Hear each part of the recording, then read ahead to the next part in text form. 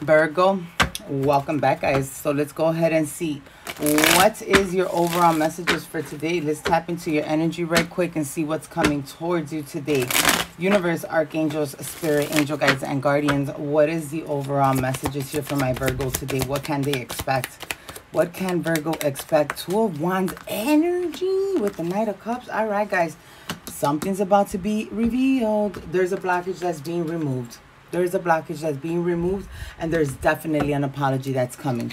Where there was a situation where you felt that somebody was not going to come back towards you or someone was not going to want to revive this connection they're coming back. There's justice at its best. This is very unexpected.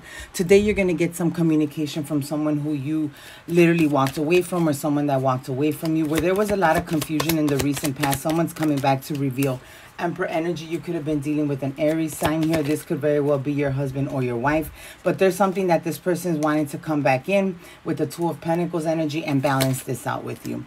Queen of Cups energy, Universe, Archangel, Spirit, Angel, Guides, and Guardians. I feel that emotionally you decided to isolate yourself. Okay, you decided to move yourself from this situation because there was a lot of embellished social shenanigans going on here. Okay, and you chose not to deal with the situation anymore. You you chose to leave whatever this person was bringing to the table in the past. Okay, you did some type of spiritual work. You started working on yourself, realigning yourself, getting yourself in a better place.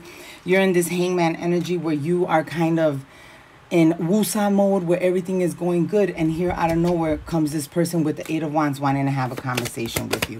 You actually thought that this situation was completely over with. I feel that this person because this is now the second time i see the seven of swords energy i feel that whomever's about to ready to come towards you betrayed you okay? Could have put you in a third party situation. This person could have even chose to walk away from you and from the family from the home from the relationship. And now out of nowhere this person's just going to come towards you and want to have this conversation. Yep, with the fool in the reverse because this person has come to terms and realization that they took the wrong leap of faith, that they went towards the wrong situation here. Oops, hang on. Yep, with the look, you got the world in the reverse. See, the situation with you and this person was not completely done. This person was eventually going to make their way back towards you, and they are. With the Queen of Swords energy here, they're coming back, bringing in some type of clarity, explaining their actions and as to why they did what they did in the past. Final messages here for my Virgo universe. I have the Six of Swords energy. This person is going to want to go towards calmer waters with you. This person is coming towards you as we speak, okay? With the chariot here, they want some form of victory and success. They know they caused you a lot of pain. They know that it caused you a lot of instabilities, but this person is really wanting to come back towards you to make amends. They don't want to continue missing an opportunity here with you. They want this relationship back and they'll do anything to get it.